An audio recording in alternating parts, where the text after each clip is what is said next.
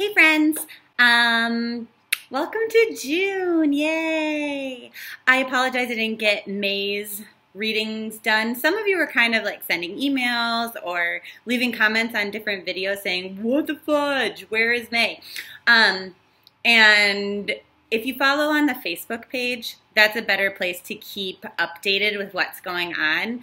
I'm going to make a video about, um, you know, if for those of you who followed me for a long time, you know that I used to be super, super consistent and like ahead of the game.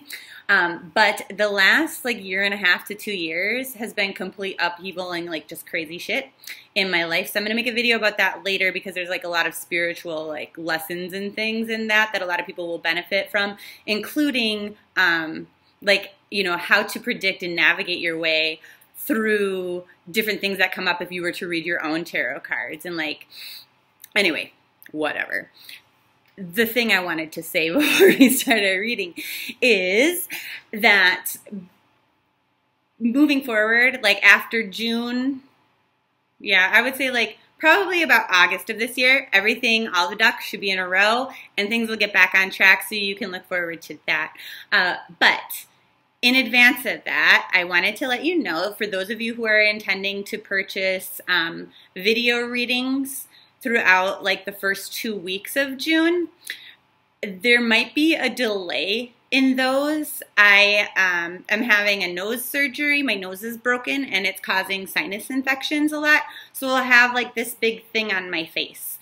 And so, um, like a little, uh, what do they call that? A splint and then maybe some black eyes after that. So I don't know how up for video reading I'm gonna be uh, straight out the gate, but I will be keeping on top of email readings and phone readings. So there's that. Um, now this month, what the reading looks like for you guys is what you can expect in work with your money because sometimes those are related, sometimes they're not.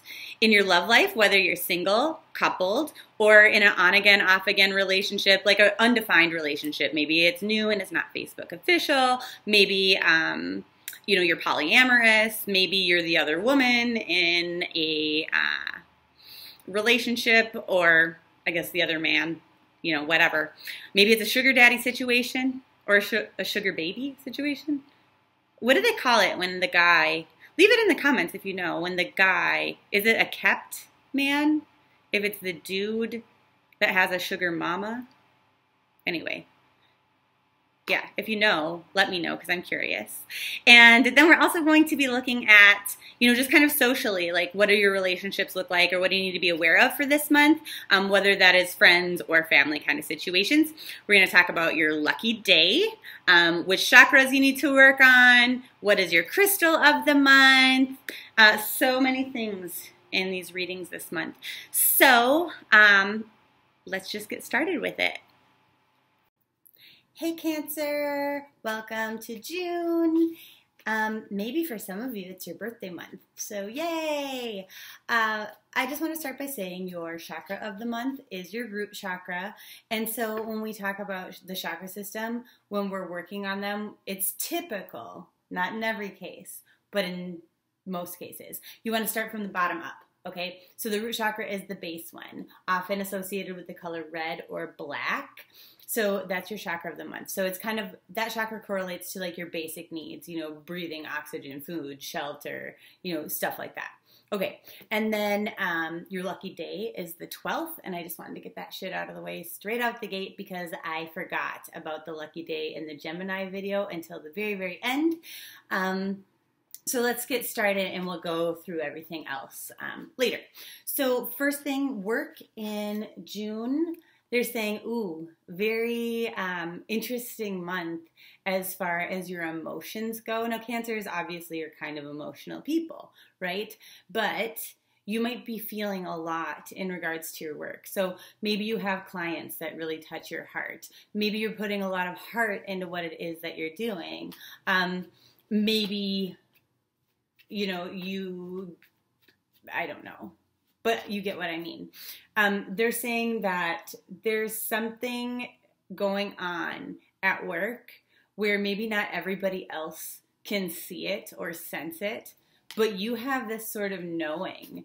Um, so you're it's like obvious to you. Like you can't be tricked or deceived. So I don't know if this is that um, somebody tells a lie or steals. It's like that kind of energy. It's like lying and stealing, and you're the only one who like really catches on to it. Maybe your colleagues are like, no, no, that couldn't be possible, uh, but you catch on to it. And so they say, um, if that's the case, if you kind of sense something's going on, like maybe somebody is taking money out of the till or, you know, who, whatever, the sooner you act on it, the better. Um, because it, otherwise, basically, like if, if you have this awareness, even though other people might not, you can prevent this from becoming like a really big bad problem. So this is especially important if you're a business owner and you have employees if you have that awareness, figure out a way to try to prevent it or at least to capture it, like videotape it, something. Um, because not everybody else is going to notice or be aware of that. That's very specific. So for everybody else, um, because you know that's the problem with general readings is that certain pieces might just be for like a certain cancer who's watching, and say, they say that that portion of the reading is for cancer bosses. Okay. So people who have your own businesses or like you're a manager or something like that, they say it's not if you work for somebody. Okay. Anyway, so for the rest of you cancers, they're saying that this month in the workplace, be careful with your written communication. So, with your emails, with your text messages, stuff like that, watch for typos. Um, a little bit like a Mercury retrograde, right? Like you want to double check your spelling, you want to make sure you're sending things to the right person because they say there could be some misfortune that way. Um, so, having that awareness is huge. Remember that throughout the month.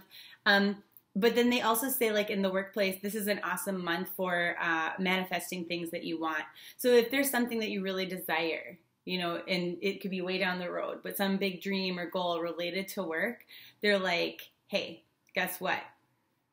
These things are achievable and you know things can be even better than you probably thought possible. So think about what it is that you hope for, what it is that you want, what it is that you wish for because it's almost as though the wheels are turning like behind the scenes to for the universe to bring you these things that you want. A very good um, kind of start to a new path of a lot of wonderful things in your work life. Um, so that being said, I'm going to kind of jump away. We'll get back to money and love and all that stuff in a minute, but it really corresponds with one of the other cards that I pulled for you guys this month, and um, actually to many of them. But before I get to the okay, so the card that I basically was talking about that I wanted to deviate for a moment for just because it correlates so strongly to work in case you don't make it to the end of the video. But you should watch the whole video because sometimes things jump back and forth, right? Is this one where it talks about surrender. But before I get there, I want to kind of set the tone with some other themes for your reading in general for the month of June. So they're saying everything goes in cycles, right? Cycles is one of the theme. And so they say the cycles of life are endlessly turning and returning us um, back to source. And so, like, obviously, we kind of know that. Like, every time something changes, like a new adventure starts, and we learn a lesson there, and then that's done, and then we have another new beginning, right? Um, but the groundwork that I kind of wanted to lay for that next card is this one here, where it talks about resistance. But you see again all of these circles, all of these cycles. And so they say the power of the human spirit can't be restricted.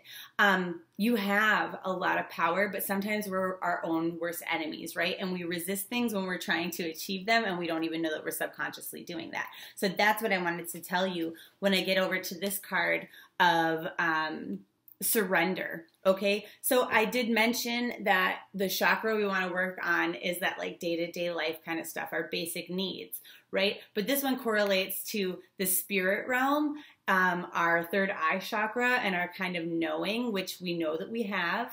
Um, the way that the card started and related in relation to work stuff, um, but as well as our fears, okay? Because we know that fears are um, what kind of create a resistance, right? And so they're like, just surrender to the universe. Like, try to let go of your fears. Because when it comes to numerology here, we have an ending at nine and a new beginning at one. Okay, this is talking about cycles again.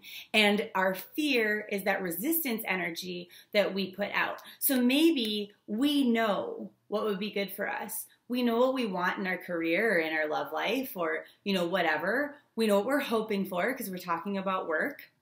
And, um, but we have this sort of fear that we can't obtain it.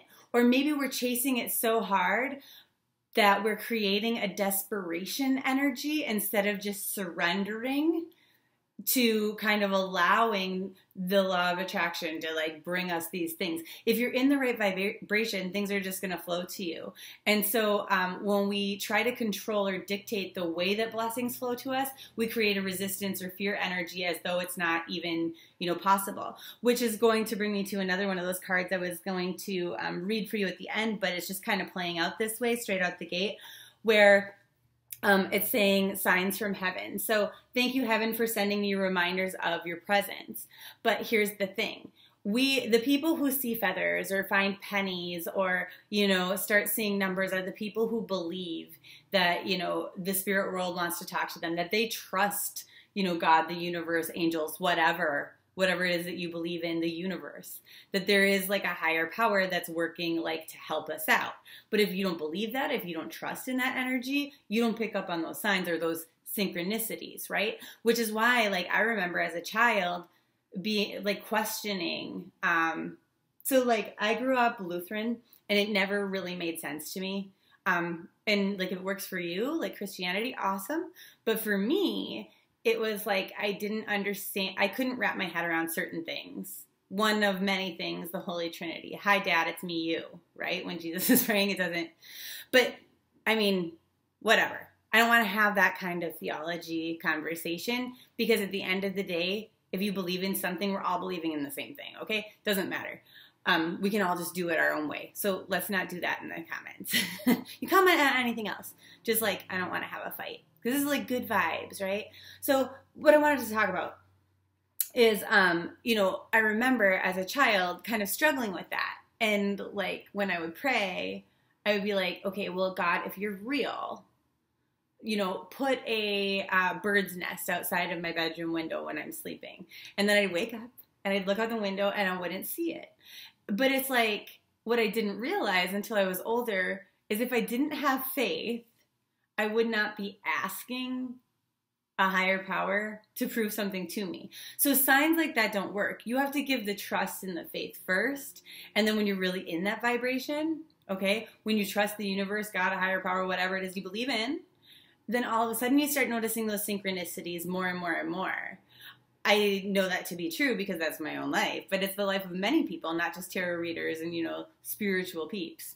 So, anyway, um, pay attention to signs, but you don't necessarily have to ask for them. However, if you're already in that flow where signs are given to you or shown to you, if you're already awakening your psychic abilities, you can ask questions and receive that way. So, for example, if you're clairaudient and you're right handed, um, you might hear, you could say, like, hey, is this a good idea or not? Check in with spirit, and they might put like a high pitched sound in your right ear or um, if they put it in your left ear, that's a no. So yes versus no, right? Stuff like that. There's different tips and tricks. Everybody experiences their psychic awareness and their development differently. Um, but that's just one of a billion examples. So for everybody generally that are cancers, pay attention to signs, but don't necessarily ask for them if you don't believe in them, right? Because it doesn't work that way. But if you do truly have belief and trust, if you can surrender to um, I mean, basically, what they're saying is all you need to know in any area, but we're talking, we were talking about work, but in any area, work, money, friends, love, you have to just know what you want and then trust that it's going to come to you in the right time, in the right way. Releasing or surrendering those fears and just trusting okay? Because you're creating otherwise delays in getting what you want. You're almost like self sabotaging. So that's that resistance energy that I was talking about. Everything comes and goes in cycles. And so if we want to skip one of these lessons, one of these circular like things, um, all we got to do is kind of just like release our fears. There's always going to be lessons. That's part of our soul contract of coming to earth from wherever the hell we used to be, right? But the point is, is that like certain ones we seem to learn again and again and again. And it's because we're not just like kind of accepting it. We're resisting it, we're pushing it away, and that's how we end up in those negative toxic cycles and patterns. I hope that makes sense. That was kind of long-winded. Okay, what's going on with your money in June? They say um, certain things that maybe you wanted to have wrapped up aren't completely wrapped up. Maybe you were trying to pay off a debt, or maybe you did, but they didn't cash the check, that kind of a thing. Um, they're saying like and this can really confuse you you might have a hard time budgeting this month or trying to figure out where do i put certain um, amounts of money you know? Like there's a lot of things that i want to spend on. Where where do i put my money? Let's say for example you took out a loan to um, renovate your home. And it's like well i know i want to do the kitchen and the living room and the upstairs bathroom but it's like where do you start? And so it's like do you put a little bit of money here here here here here?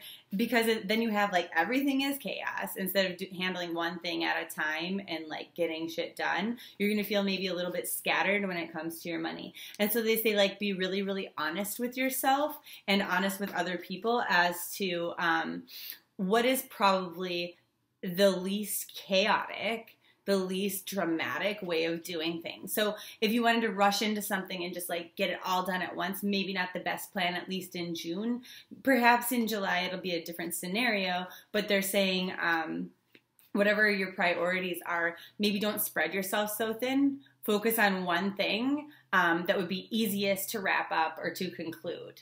Okay, so maybe you have like credit card debt and you have tax debt. They're saying like just focus on paying one of those credit cards off this month instead of like trying to put like shit everywhere. Does that make sense? That's kind of the energy for your money this month. Um, as far as love goes, if you're a single Cancer, they say, um, you know, don't be a little bit guarded about who you give your time, your energy to this month they're saying um, because otherwise it will really very much deplete you. Um, so cancers are kind of that way, right? I I see you more as turtles than crabs. Maybe crabs have the same behaviors, and I just don't know that because I don't really. Honestly, I think that the ocean is like filled with aliens. I think it's really creepy. so um, maybe crabs behave very much the same way that turtles do. I don't know, but I kind of picture cancers as turtles. Like you stick your head out you know, you socialize, you like do your stuff, and you swim even in water sometimes, but you're also good in practical practical reality, walking on land. But then sometimes you just gotta go back in your shell, retreat, kind of like gain up your um, energy to go back out there and stick that head out.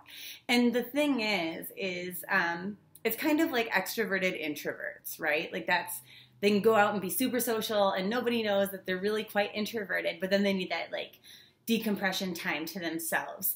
So, um, with that sort of energy, I think that's kind of what they're saying for those of you who are single cancers is you don't necessarily um, want to overextend yourself, overgive of your energy, your time, your love. They say like it's not like it's going to make you feel more anxious. It's not like anything bad's going to happen, but it's just a little too much. Um, they say, yeah, like don't get me wrong. Like if you have an like a really social June, like you're not welcoming catastrophe, okay? But they're just saying, you know, this time you really need it and you'll really enjoy personally that inner reflection time for yourself.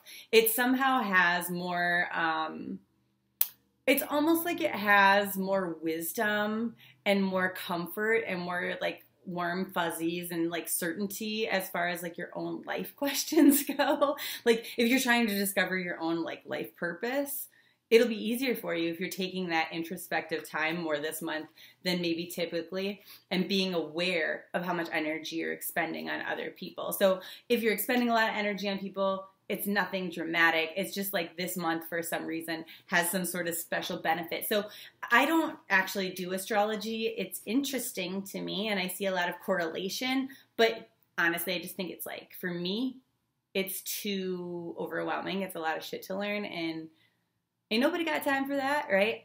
So if you are an astrologer, that's like one of your hobbies, you know a lot about it. Maybe you or you heard something, you watched a really sweet YouTube video on, you know, cancer astrology, maybe you can let us know in the comments what that might be about. There might be some astrological force there. Um, the other thing is that they're saying, you know, in regards to your love life, you should probably, this is a really good month to ask other people to maybe set you up. And I, that can be uncomfortable, right?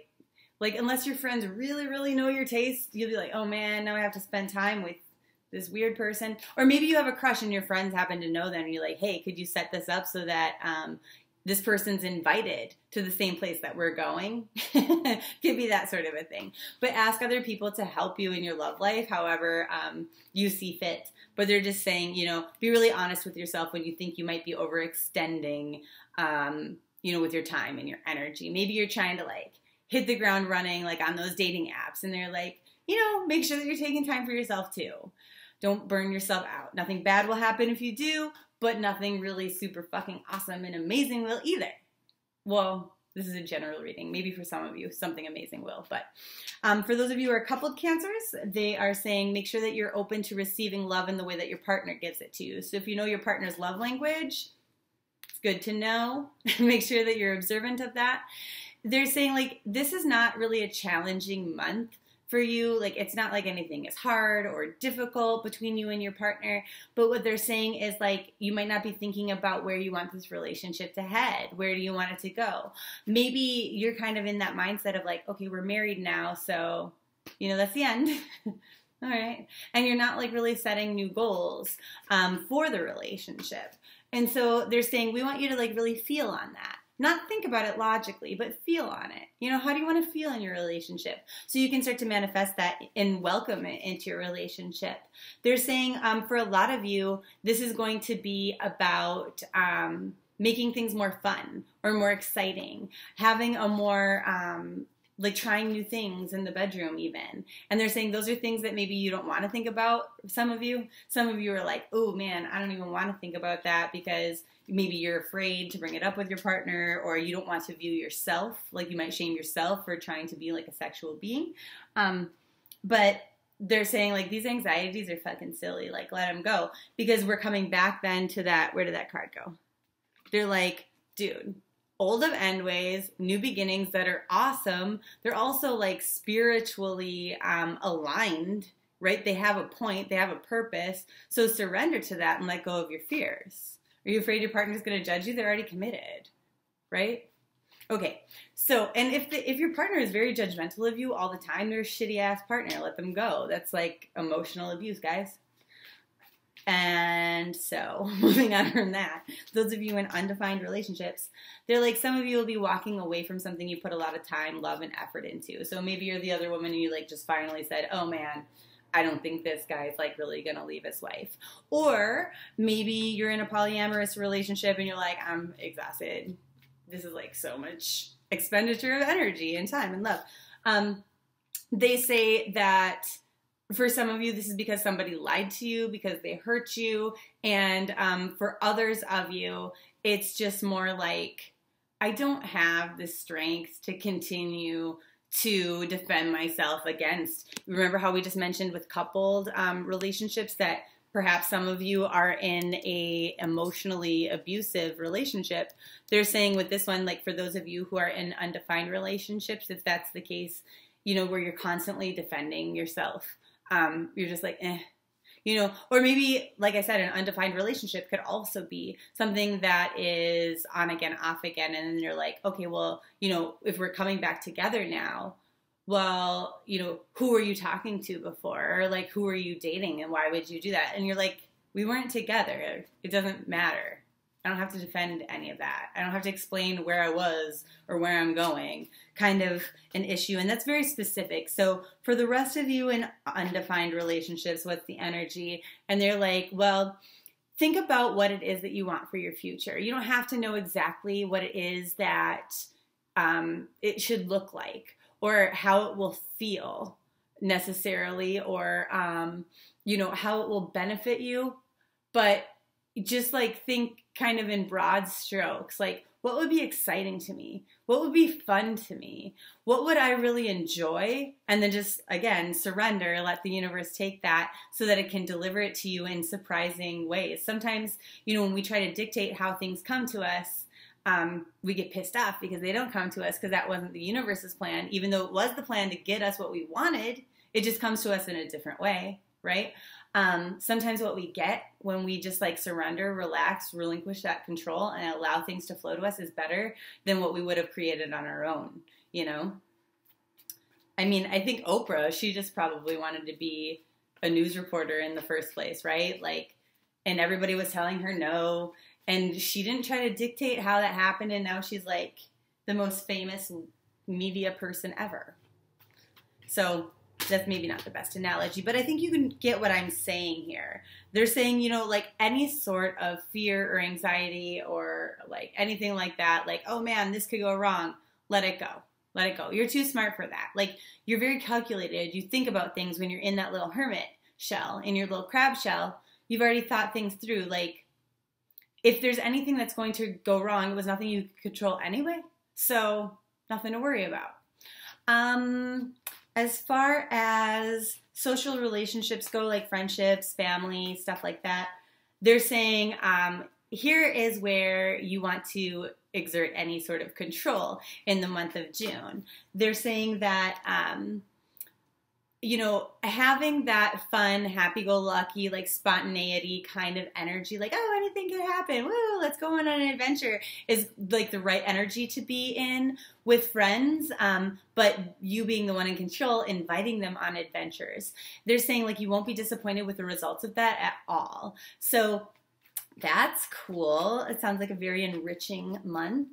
They're saying, um, as far as social stuff goes, your friends or your family members could somehow direct a source a new source of income to you. So maybe you have a hobby. Maybe you like to knit hot pads or something. And then they start mentioning it to their friends. And then before you know it people are emailing you saying like hey can i place an order? Or maybe you have a business and people are referring to you like crazy and it's because they have this joyful like um, social time or because you reached out and you contacted them and it reminds them oh you know what? So and so was asking like if i knew anybody who does hair and then you know you're a cosmetologist and so you get that referral. They're saying um, some of you might not feel like really um, like you want to reach out to others and say, hey, do you want to get a drink with me? Do you want to, you know, hang out on Tuesday? And we don't have to make plans as to what. We'll just go on an adventure. It's like some of you don't feel that way. But try to push yourself this month to do that because it does have big rewards for you. And they're saying um, there's really nothing to be afraid of there. Like you kind of know that you sort of need that. Okay? Now, the last few things that I wanted to talk about was your color energy, which is plum, and you use this through the third eye, and this will um, decalcify that third eye chakra. But what it does is it helps you to overcome your challenges. This is about balance that you you know maybe thought you had and then something new comes along and it creates some sort of discord or stress and so it's like just it's going to help you to release you know, because it's overcoming your challenges, it's going to help you release that kind of energy that we were talking about before. Now, um, look at that. We have orange as the fear and then purple through the third eye. So asking your spirit guides, you know, for um, paying attention to signs. Like the spirit world here is trying to communicate with you. Everybody is psychic, okay? Um, it's just a matter of do you know how to tap into that or use and use it or not. And so as that third eye opens, you're going to start to kind of notice your blessings. And so if you're already starting to do that, if you're on this awakening path, then you're going to notice these signs and um, hopefully take some sort of comfort and in that and trust in the universe and then be able to relinquish those fears because this is what we are we want to rely on spirit to help us overcome any challenges that come up for us and so um, with this one, you know, they say that devotion, dedication are important with the plum energy. You can eat plums to bring it out, plum lipstick, you know, imagining that color right through your third eye chakra. But they're saying, you know, remembering that everything has a purpose or a point. Like everything we go through is to teach us something. Um, so the affirmation for this one is use um, Divine Spirit, please use the plum ray to guide me through any challenges I may experience with ease, grace, and softness. And so essentially, it's kind of like a prayer saying, Hey, um, can you guys help me out? Like, I want to get th- through things like as non dramatic, as unscathed as possible. Like, I want a life of ease. Honestly, that's my best life hack. Yeah. Um, when I remember to gratitude journal for ease or to pray for ease, my life is like a million times better. And I should have done that this week because I was a huge, ungrateful, whiny bitch yesterday. Um, hindsight's 2020, right? Love all love is all there is, right? So remembering that um, anything that is shitty is just that there's not there's a lack of love attached to it, right? Um, darkness itself is just a space devoid of light. Okay, so um, maybe I don't think I need to explain that further. This is just important to know. Love is all there is. It's the mo- it's the most powerful force on the universe, right? um, so the more love we can put into things, the more love we put into our friendships, into our um, romantic relationships, into our work, because we already said you're going to be in your fields, into our money relationships, because you know, with money, um, that's also an energy. The more that we love our money, the more we receive it. Um, love is really all there is, and that's kind of your theme for the month. I love you so much. Have the best month ever. I forgot to tell you what your crystal of the month. It's jade. So, um, on some occasions, you might see a little bit speckled like that, but more often, you'll see jade um, in a lighter tone like this or a darker one. Um, a good place to find it locally sometimes is like an Asian marketplace might sell little jade Buddhas. Um, for good luck and things like that. You could get it from your local crystal shop.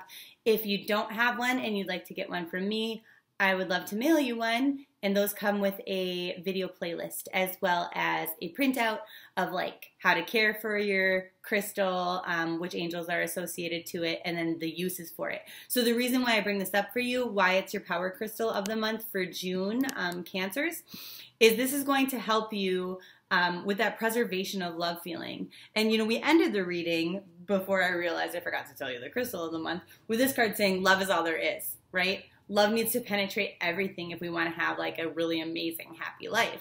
Um, but it helps us to love ourselves as well. It helps us to um, do like inward compassion but compassion for others. It helps us to feel inspired. Um, it helps us to be spontaneous which we mentioned is important in your social relationships your relationships with your friends with your family members stuff like that. Helps you to solve problems to take actions. With luck um, most of the time, people use jade for luck and prosperity um, and for long life, but it helps us with our intuition. Remember, we talked about all that third eye energy that we have going on here, opening up and awakening that. Um, and it soothes any irritation that we have. It helps us to connect to the spirit world, helps you to balance your metabolism. I mean, isn't that freaking awesome? It does so many other things. So you get like the full list um, if you get one from me. But I mean, you could also just do a quick Google search too, whatever's clever. Love you a lot. See you in July. Thanks so much for watching this video and getting all the way to the end of it. I really appreciate your support. If you are interested in other videos, click here. If you are interested in subscribing, go ahead and click here. Hit that notification bell so that you get alerted to when new videos come out and also when I do surprise live streams. And then if you're interested in winning a free 20 minute video uh, reading personally every month, go ahead and click right here. Mwah!